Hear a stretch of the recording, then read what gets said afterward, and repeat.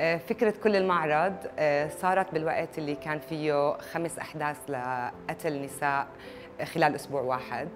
آه، كون دائما كانت هي براند عندها إحساس عالي بالمجتمع اللي هي موجود فيه.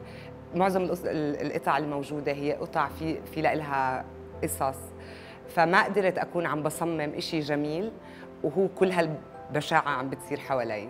فبناء عليه آه، قررنا إنه بدنا بهذا المعرض يكون في مسج عن العنف ضد النساء وإنه نأكد لكل النساء اللي حوالينا إنه بغض النظر عن العنف الموجود نحن موجودين إحنا سامعين وكل حدا فينا بيقدر من المحل اللي هو موجود فيه.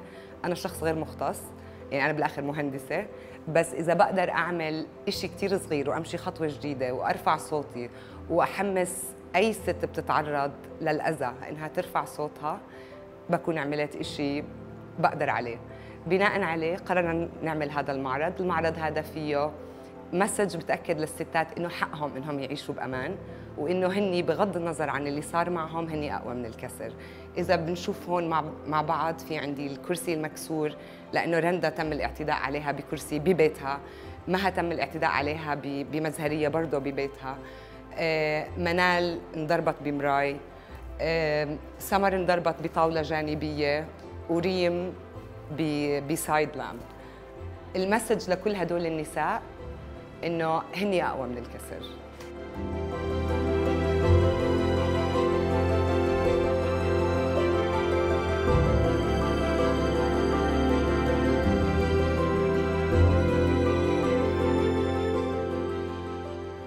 هذا المعرض بالتعاون مع جمعية اتحاد المرأة الأردنية اللي عم بيعملوا شغل كثير مميز عم بيدعموا كثير نساء عندهم خط مفتوح دائما لأي وحدة من النساء المعنفات آه، وجزء من الإيرادات إذا أي حدا بيشتري أي قطعة فرنتشر مكسورة جزء من هاي الإيرادات رح يروح لدعم الجمعية.